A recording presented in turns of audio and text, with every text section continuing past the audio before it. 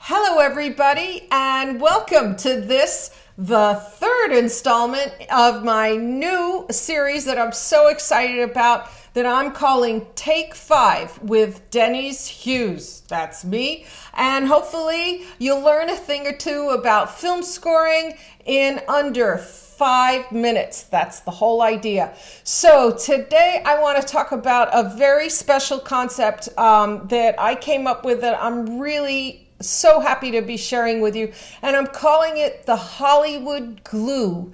And what that is, is it, well, it has to do, it's not glue that you use, you know, to glue I don't know, pieces of wood together, broken china. No, it's glue that's used in relationships in Hollywood. Uh, because uh, what happens in film scoring is a creative endeavor that you are creating an alliance, an important alliance with a director. It's very important for you to be able to have a healthy relationship with that director as the composer. And the way you do that is not by talking shop, not constantly talking about how, um, you know, oh, I think that this cue here is great, and I think that, you know, there should be this kind of music there. It's a really good idea for you to talk about all kinds of other things that have nothing to do with film or music. So if you want to talk about sports, go ahead. If you want to talk about your hobbies, go ahead. If you want to talk about food,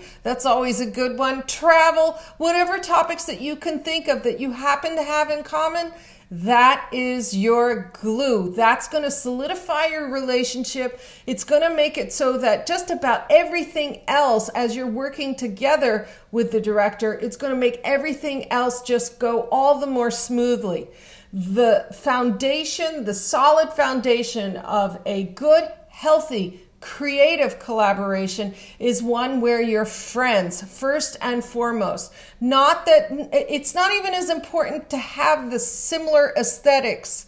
Uh, similar aesthetic tastes. It's more important for you to be able to get along, for you to be able to enjoy just simply hanging out with each other. And um, a lot of people who don't understand how this works in Hollywood, they tend to misconstrue this as not taking things seriously, being a little bit more relaxed. But in fact, it's very much right order when it comes to um, the creative way of living and uh, living a creative life and being uh, really highly functional. You have to feel free enough to be able to tell your director, you know, I don't agree with you. I think the way that I am thinking and feeling about this is the right way. And in order to do that, you have to talk about other things and you have to share other things that don't have anything to do with your project.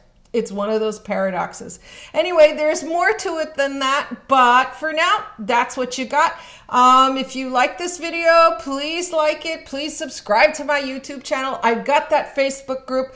It all the information is below. Um, if you're interested on working with me one-on-one, please write to me. I'd love to hear from you, and I look forward to seeing you the next time. Take care. Bye.